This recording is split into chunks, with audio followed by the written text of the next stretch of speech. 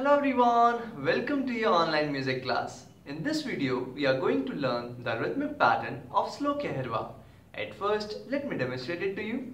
One, two, here we go. One, two, and three, and four, and.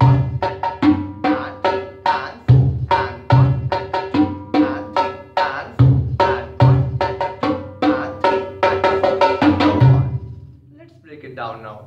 We will divide this rhythm in two parts. First part is 1 and 2 and. We will play the high tom and the bass together on the first beat like this. 1 and then we will play and on the high tom 1 and and after this we will play and on the mid tom and make sure you start with your left hand like this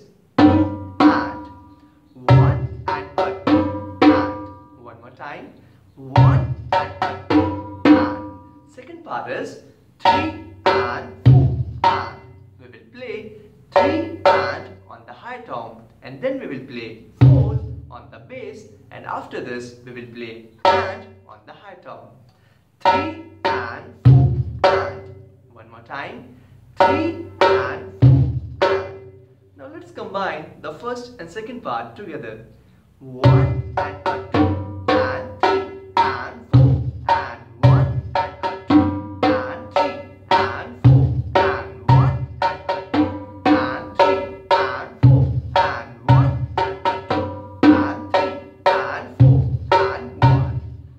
that's all for the today's lesson. And now I want you to practice this rhythm on your Congo. And if you don't have the Congo, then just grab the pillow and start practicing.